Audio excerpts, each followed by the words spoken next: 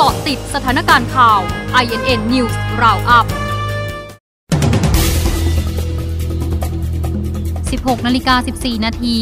กลุ่มอาชีวะปกป้องสถาบันชุมนุมแสดงพลังปกป้องสถาบัน ชี้พระมหากษัตริย์ไม่ละทิ้งประชาชน 16นาฬิกา30 นาทีคุณหญิงสุดารัตน์เผยสารอ่านคำวินิจฉัยในร่วมมนตรีปมพักบ้านทหารวันที่ 2 ธันวาคมนี้ ขึ้นอยู่กับการพิจารณา ขณะมองเสี่ยงเพิ่มความขัดแย้ง หากจำเป็นต้องเลือกในร่วมมนตรีที่ไม่มาจากในสภา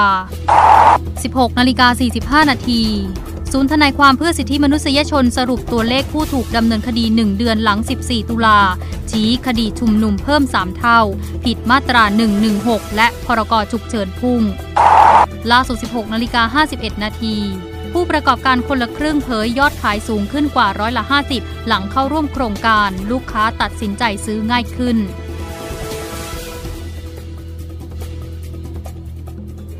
เกาะติดสถานการณ์ข่าว INN News Roundup